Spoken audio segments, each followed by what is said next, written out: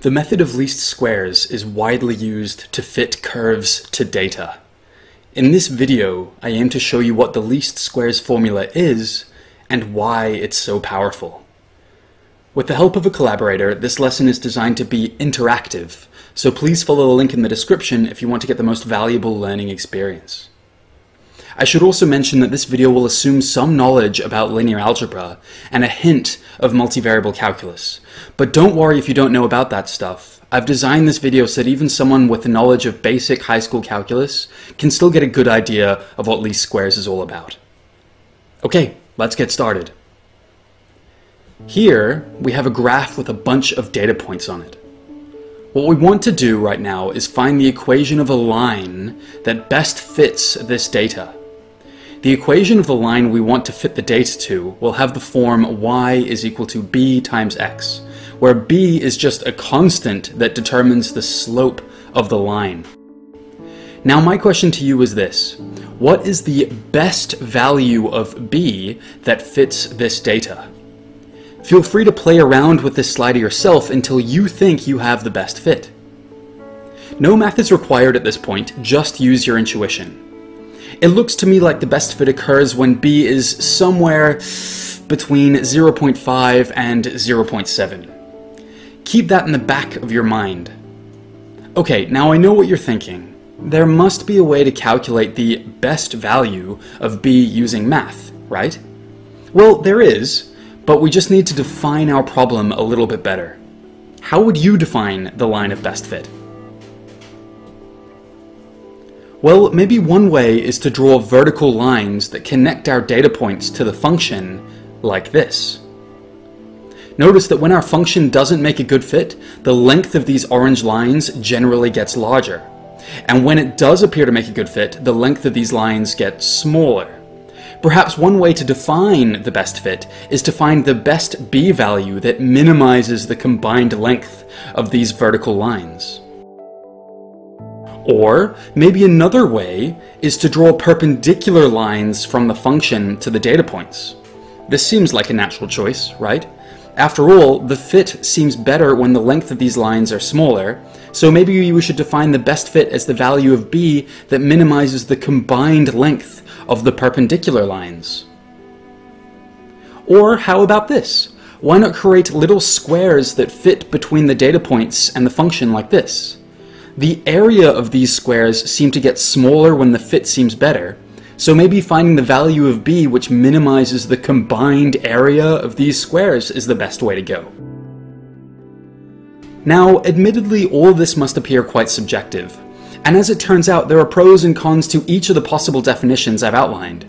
But my aim in this video is to show you that this third option of getting the least squared error is not only absolutely reasonable, but also extremely computationally efficient.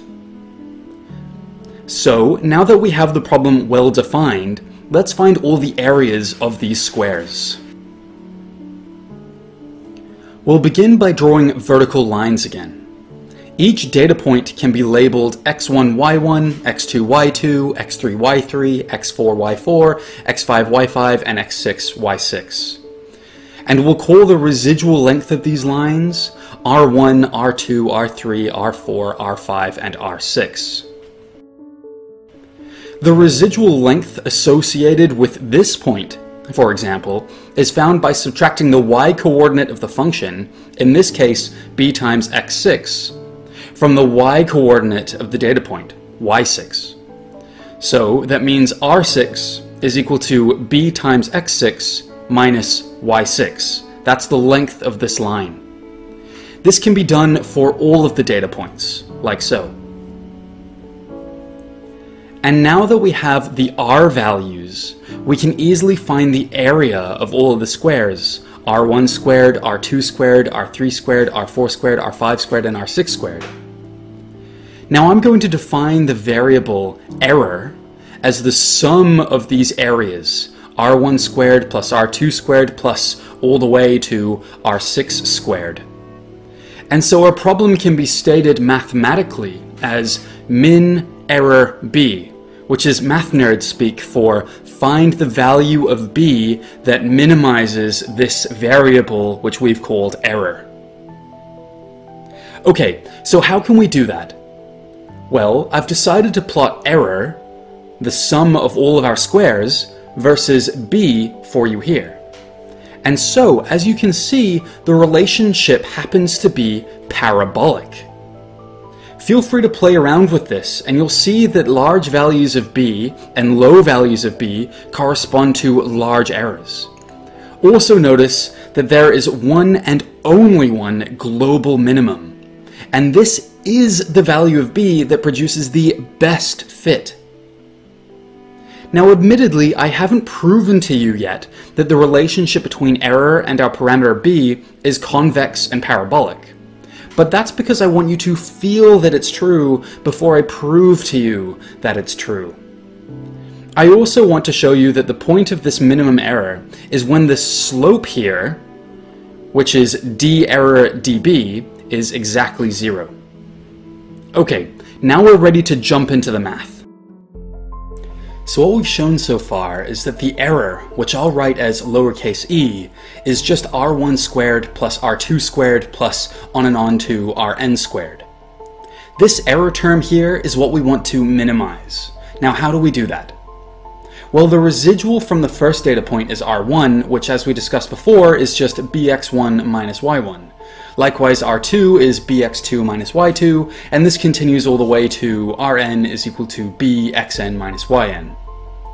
And we know that the minimum of the error occurs when the slope, dedb, is equal to zero. Now we have all the information we need to solve this problem. All we need to do is plug these values of r1, r2, r3, etc. into the expression we have for error. So let's do that. When we substitute all the values for r1, r2, etc., we will get this expression for error. Now let's expand each of these brackets by squaring each of the terms. Now let's group the terms multiplied by b squared, and group the terms multiplied by b, and group all the other terms together too. When we group these coefficients together, we get this. Now take a moment to realize that this is the equation of a parabola. And even more than that, because the coefficient of b squared here is greater than or equal to zero, this is actually a convex parabola. This proves what I showed before, that the error versus b curve will always be an upward facing parabola, which means that there will always be one and only one global optimum a fantastic advantage of the least squares method. Now let's find that optimum value by solving for DEDB is equal to 0. If we differentiate the expression above with respect to b, then we get this. Then we set this expression equal to 0. Solving for b is easy from here. Divide by 2, bring the constant terms to the other side, and divide by the x squared terms. And there we go! This is the value of b that produces the best fit. In our dataset, this value turns out to be about 0.62. Notice this value is consistent with what we showed with the parabola plot, and it's also in line with our intuition as well. This fit looks pretty good. What we just showed really gets to the heart of what the least squares fitting is all about. But it's actually way more powerful than that. And to truly show you its power, I'll have to dive into some linear algebra and multivariable calculus. But don't worry, I'll try to keep it as simple as possible. Imagine you have a dataset that looks like this, and you want to try and fit it with a more general line, y is equal to a plus bx. Now we have two parameters to find, a and b. The parameter a moves the line up and down, and the parameter b changes the angle of the line. I encourage you to play around with these values to see if you can find a good fit for yourselves. Now, as you may have guessed, there is a way to calculate the best values of A and B. Let's start by finding the residual lengths just like before. R1 is just the difference between the function, a plus bx1, and the data point, y1. R2 is similar, it's just a plus bx2 minus y2. R3 is a plus bx3 minus y3, and this goes all the way to the nth data point. Also, just like last time, we'll define the error, the thing we want to minimize, as the summed area of these squares, r1 squared plus r2 squared plus on and on to rn squared. But unlike last time, before I jump into the math, let me introduce you to some unavoidable linear algebra. The residual equations that I have here can actually be expressed more compactly using a matrix equation. Let's define a vector that contains all of the residual terms, r1, r2, r3, etc. Believe it or not, this vector is equal to some 6 by 2 matrix times a vector containing our unknown parameters a and b minus the vector that contains all y data values. Now the first equation is 1 times a plus x1 times b minus y1. The second equation is 1 times a plus x2 times b minus y2, and so on. And so our matrix will look like this. I'll call the residual vector r, I'll call this matrix A, and I'll call this vector containing our unknown parameters x, and I'll call this vector b. Now this might seem like crazy, abstract, and unnecessary linear algebra to you right now, but trust me, writing this in matrix form really does end up simplifying things. For example, the error term we just derived, r1 squared plus r2 squared plus on and on to rn squared, can actually be written more compactly as the dot product of the r vector with itself, r transpose r, which can also be written as the 2 norm of ax minus b. Okay, but that's enough about that. Let's take a step back and focus on the problem again. Now, as it turns out, Remarkably, when we plot this error, we'll get this multi-dimensional parabola called a paraboloid. As you can see, the error is plotted against our parameters a and b. Just like last time, the best fit will occur at the point that minimizes this error. Now let's have a think about how we can quantify this minimum point. Well, if we keep b fixed and vary a, then the minimum can only occur when the slope of the error versus the a curve is zero. In other words, where the partial derivative of error with respect to a is zero. Likewise, if we keep a fixed and vary b, then we can see that the minimum can only occur when the slope of the error versus b curve is zero. And now we're armed with everything we need to solve our minimization problem. And that minimization problem can be stated as follows. The error e is given by r1 squared plus r2 squared plus on and on to rn squared.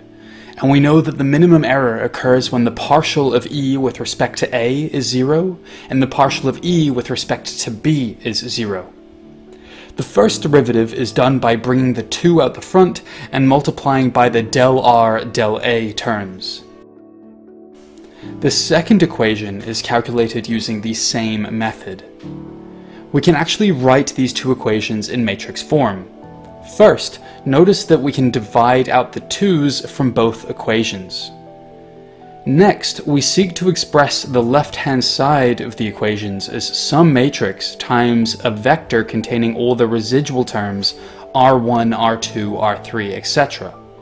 From the first equation, we can see that the first row of this matrix must contain all the partial derivatives with respect to A. And from the second equation, we can see that the second row must contain all the partial derivatives with respect to B. And on the right-hand side, we'll just get the zero vector, 0, 0. Now recall that these residual values in this case are just given by the formula Ri is equal to A plus Bxi minus Yi. This means that the partial of Ri with respect to A is just 1, and the partial of Ri with respect to B is just Xi. And now let's plug these results into the matrix equation above. Whoa, this matrix is the same A matrix we derived earlier, except flipped on its side. It's A transpose. And this vector r here is just the residual vector that we defined earlier too. And for the math nerds who are watching this, this general matrix here is called the Jacobian matrix transposed. Okay, so what we have here at the end of all this calculus and linear algebra is that our optimum value occurs when A transpose R is equal to zero. But don't forget that the residual vector is just A times X minus B, so let's sub that in. Let's multiply the A transpose through and bring the A transpose B to the right hand side. Now if A transpose A is invertible, then we can solve for the vector x by inverting both sides. And oh my god, we've done it. We've found the vector x which contains the parameters of the fitting function f of x is equal to a plus bx. With just a single equation, we get the vector x which contains the optimal values a and b. This solution is remarkably compact and can easily and efficiently be implemented in software. For example, MATLAB can easily calculate all of this blue stuff here using the pseudo-inverse command pinv-a. In fact, with just a few lines of code, it's possible to extract the optimal parameters a and b. In our example, it's a is equal to 1.07 and b is equal to 0.98, which is very much within agreement of what would expect a good fit to look like intuitively. And so there we go. We've had a deep dive into how the least squares method works. Under the hood, it's just a really elegant and efficient formula that's derived using a mixture of multivariable calculus and linear algebra. Oh, and by the way, if you weren't scared away by the linear algebra in this video, then I've also made another proof that you might like as well. Feel free to check that out too. Anyway, thanks so much for watching guys. Cheers.